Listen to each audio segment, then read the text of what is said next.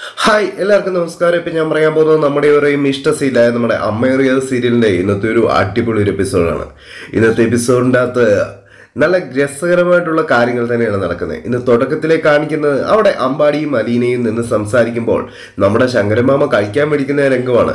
അതെ രണ്ടുപേരും കൂടെ നിന്ന് കൊഞ്ചിക്കുഴയാതെ വന്ന് വല്ലതും കഴിക്കാനായിട്ട് നോക്ക് എന്ന് തന്നെ പറയാണ്. കുഴയലോ?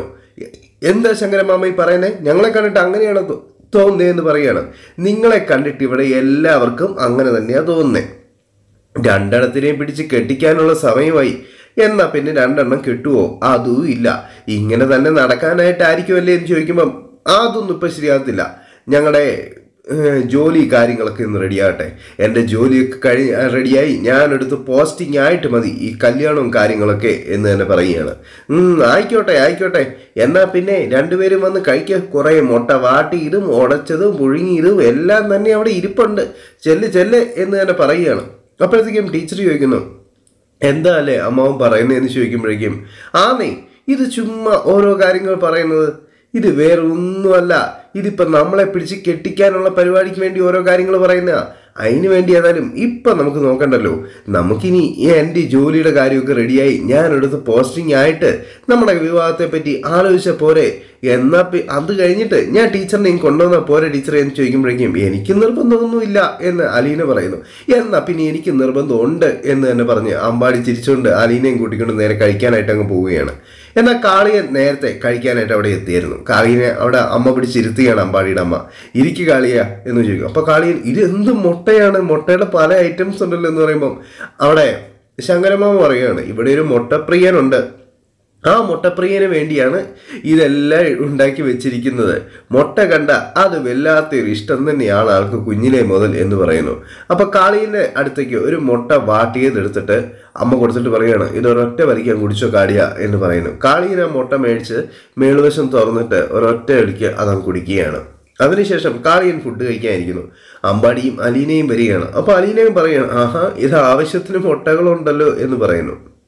അപ്പോഴത്തേക്കും അവിടെ ഫുഡ് എടുത്ത് വിളമ്പി കൊടുക്കുകയാണ്. അമ്പാടിക്ക് എടുത്ത് കൊടുത്തു. അലീനയ്ക്ക് കൊടുക്കാൻ നേരം അലീന പറഞ്ഞു ഞാൻ എടുത്തോളാമേ ഞാൻ എടുത്തോളാം എന്ന് തന്നെ പറഞ്ഞ് അവിടെ ചോറും കറികളും പപ്പടവും അവിയലും മുട്ടയും എല്ലാം തന്നെ അലീനയും എടുക്കുകയാണ്.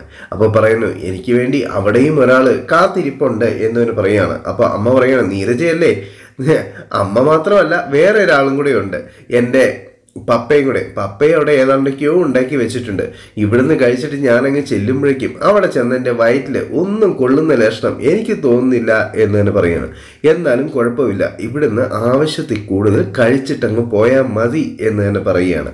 പറയുന്നു നമ്മൾ ഇത്രയേറെ സന്തോഷത്തോടു കൂടിയൊക്കെ ഇരിക്കാൻ കാരണം എന്തായാലും ഇന്നലെ നിങ്ങൾ കറക്റ്റ് സമയത്ത് ആ മയക്കുമരുന്നിനെ പറ്റി അറിഞ്ഞിട്ടാ.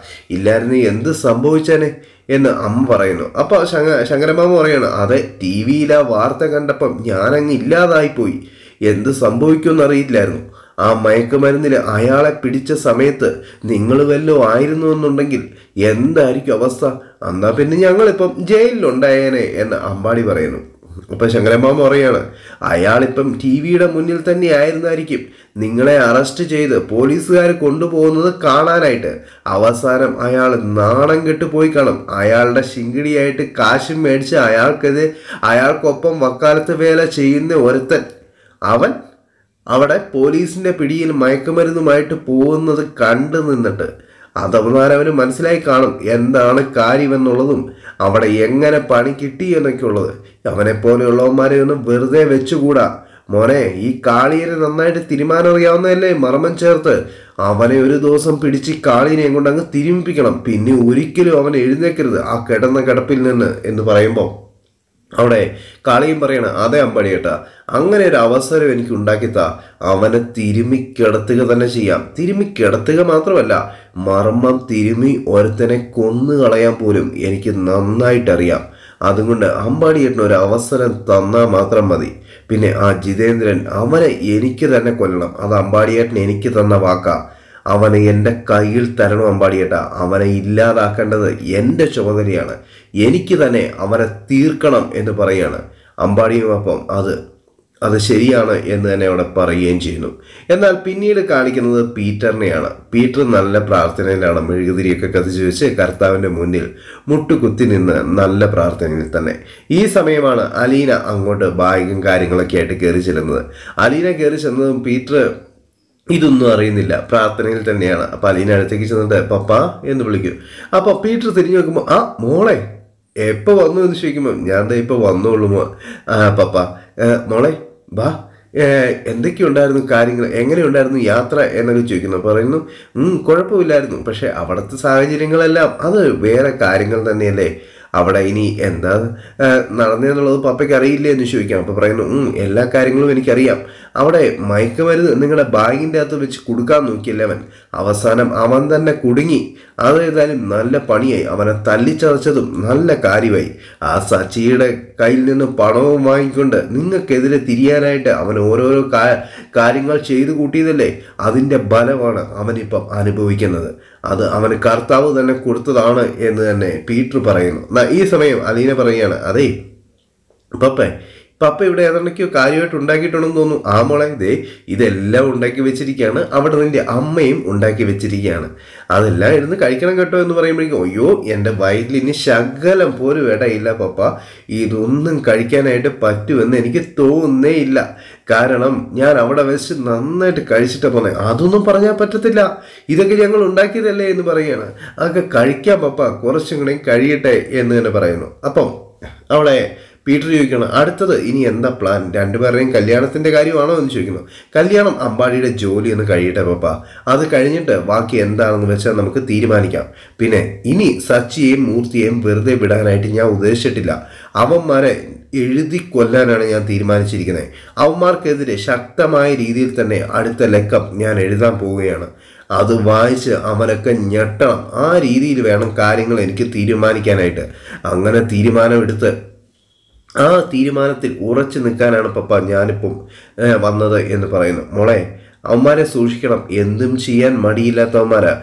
എപ്പോഴും നിങ്ങളുടെ പിന്നാലെ തന്നെയുണ്ട്. മോൾ ഇങ്ങനെ ഒരു കാര്യം ചെയ്യാൻ പോവുകയാണെന്ന് അറിഞ്ഞു കഴിഞ്ഞാൽ അവന്മാർ വെറുതെ കൈയും കെട്ടി നോക്കിയിരിക്കത്തില്ല. പിന്നെ സംഭവിക്കാൻ പോകുന്നത് എന്തായിരിക്കുമെന്ന് മോക്ക് അറിയില്ലേ എന്ന് ചോദിക്കുമ്പോൾ എല്ലാം എനിക്ക് അറിയാം പപ്പ പക്ഷേ അവന്മാരെ എങ്ങനെ വെറുതെ വിടാനായിട്ട് എനിക്ക് കഴിയില്ല എന്ന് തന്നെ പറയുന്നു. എന്തായാലും പപ്പ ഞാൻ പറയാം അമ്മയുടെ അടുത്ത് വരെ ഒന്ന് പോയിട്ട് വരാം. അമ്മയുടെ അടുത്ത് പോയിട്ട് അമ്മയായിട്ട് സംസാരിച്ചിട്ട് ഓടി വരാമെന്ന് പറയുന്നു. എന്നാൽ പിന്നെ മോളെ അവിടുന്ന് എന്തെങ്കിലും കൂടെയും കൂടി ഒന്ന് കഴിച്ചിട്ടും കൂടെയും പോരണം കേട്ടോ. കാരണം ഇവിടെയുള്ളത് നമുക്ക് വൈകുന്നേരം ഒരുമിച്ചങ്ങ് ഇരിക്കാം എന്ന് തന്നെ പറയണം. ശരി പപ്പ ആയിക്കോട്ടെ എന്ന് തന്നെ പറഞ്ഞ് അലീന നേരെ അങ്ങോട്ട് ഓടുന്നു. അവിടെ ചെന്ന് കഴിഞ്ഞപ്പോഴേക്കും വാതൊക്കെ നമ്മുടെ മഹ മഹി നിപ്പുണ്ട്. മഹിയെ കണ്ടതും ഇതേ അച്ഛ ആ മോളെ ഇത് എപ്പോ എത്തി? അമ്പാടി വന്നിട്ടുണ്ടോ എന്ന് ചോദിക്കുന്നു. ഇല്ല അമ്പാടി അവിടെ വീട്ടിലാണ്. ഞാനിങ്ങ് പോകുന്നു എന്ന് പറയുന്നു. ദേ നീരജ ഇത് ആരാ വന്നേക്കുന്നതെന്ന് നോക്കിയേ എന്ന് പറയുന്നു. നീരജ ഓടി വരുമ്പോഴേക്കും ദേ അലീന ഓടി വന്ന് കെട്ടിപ്പിടിച്ച് മോളെ എങ്ങനെയുണ്ടായിരുന്നു ഈ യാത്രയും കാര്യങ്ങളൊക്കെ? യാത്രയും കാര്യങ്ങളൊന്നും കുഴപ്പമില്ലായിരുന്നു അമ്മേ. ഞാൻ അവിടെ വന്ന് അമ്പാടിയുടെ വീട്ടിലാണ് ആദ്യം കയറിയത്. ആദ്യം അലീന്റെ വീട്ടിൽ പോയി അവിടെ നിന്ന് അമ്പാടിയുടെ വീട്ടിൽ വന്നു. കാളീനും കൂടെ ഉണ്ടായിരുന്നു. അപ്പോൾ അമ്പാടിയുടെ വീട്ടിൽ വന്ന് ഫുഡും കാര്യങ്ങളൊക്കെ കഴിച്ചതിന് ശേഷം ഞങ്ങളിപ്പം ഇങ്ങോട്ട് വന്നത്.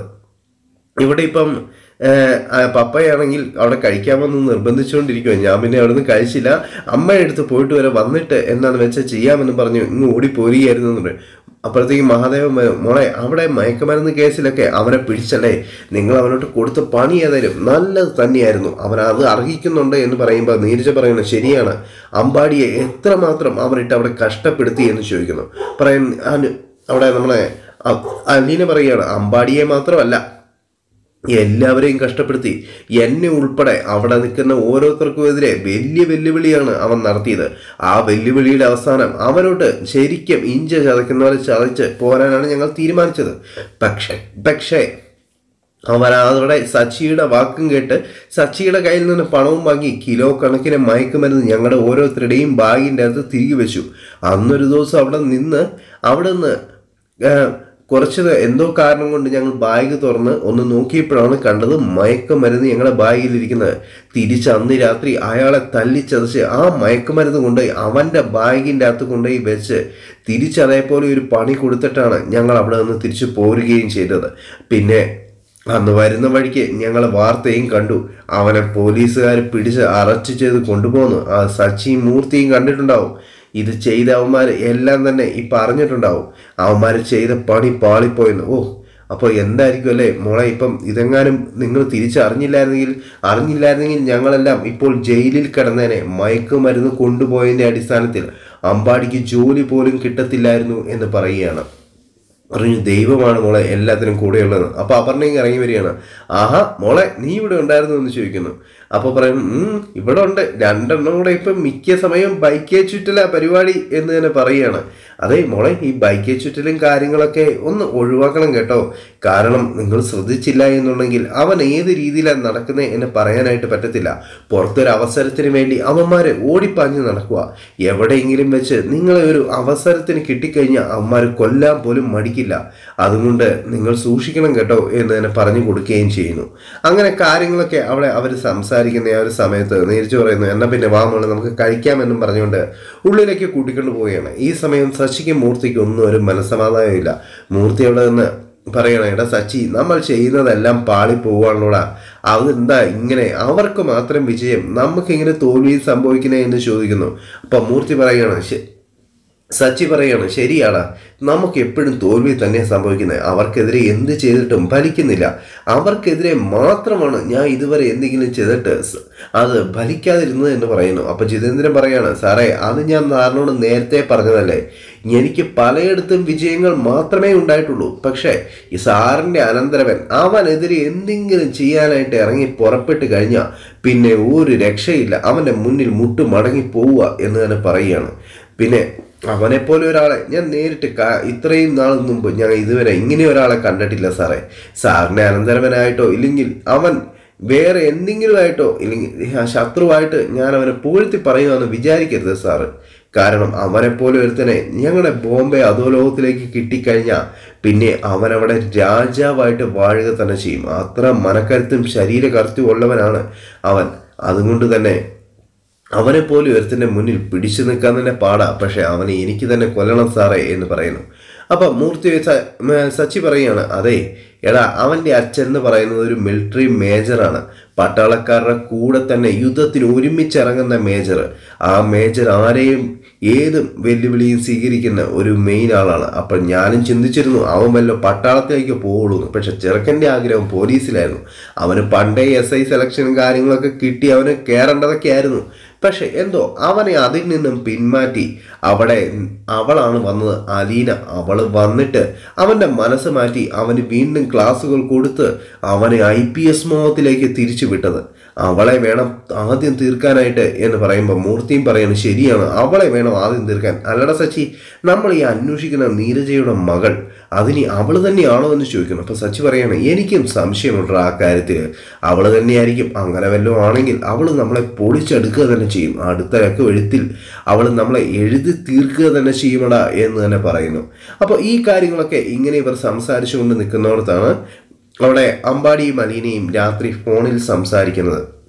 ആ സമയം അമ്പാടി അലീനെ വിളിച്ചിട്ട് ടീച്ചറെ ഉറങ്ങിയോ ടീച്ചറെ? എന്ന് പറയുന്നു. ഏ ഉറങ്ങിയില്ല. എന്താ അമ്പാടി എന്നെ ടീച്ചറെ ടീച്ചറെ എന്ന് വിളിക്കുന്നത് ഈ ടീച്ചറെ എന്ന് വിളിക്കാതെ അമ്പാടിക്ക് എന്നെ എന്റെ പേരോ ഇല്ലെങ്കിൽ വേറെ എന്തെങ്കിലും വിളിച്ചോ? വേറെ എന്ത് വിളിക്കാനാണ് ടീച്ചറെ? അത് പേര് വിളിക്കണം. ഓ ഒരു പേരൊക്കെ വിളിച്ചാൽ കൊണ്ട് എന്തോ പോലെ.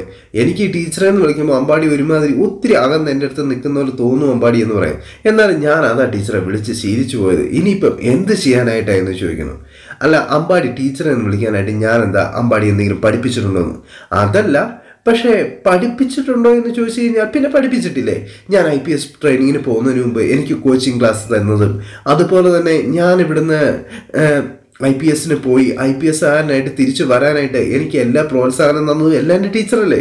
അപ്പോൾ ടീച്ചർ തന്നെയല്ലേ എന്റെ ടീച്ചർ ടീച്ചറെ എന്ന് ചോദിക്കുമ്പോഴേക്കും ആ ഹാ അങ്ങനെയാണോ? അങ്ങനെയാണ് എന്നുണ്ടെങ്കിൽ എനിക്ക് ഗുരുദക്ഷിണ എന്ന് തന്നെ പറയുന്നു. അപ്പോൾ ഗുരുദക്ഷിണോ ടീച്ചറിന് എന്ത് ഗുരുദക്ഷിണയാണ് വേണ്ടത്? എന്തും ചോദിച്ചോളൂ എന്ന് പറയുമ്പം അലീന ആ ഗുരുദക്ഷിണ ചോദിക്കുന്നിടത്ത് ഇന്നത്തെ എപ്പിസോഡ് ഇവിടെ അവസാനിക്കുകയും ചെയ്യാണ്. അപ്പോൾ എല്ലാവർക്കും ഇന്നത്തെ എപ്പിസോഡ് ഇഷ്ടപ്പെട്ടു എന്ന് തന്നെ വിചാരിച്ചുകൊണ്ട് ഇന്നത്തെ എപ്പിസോഡിലൂടെ വൈൻഡപ്പ് ചെയ്യുന്നു. Thanks for watching my video this is Sam signing out bye bye ടെറ്റ അടുത്ത കുടുംബങ്ങൾക്കാണ് കാണാൻ മറക്കരുത്.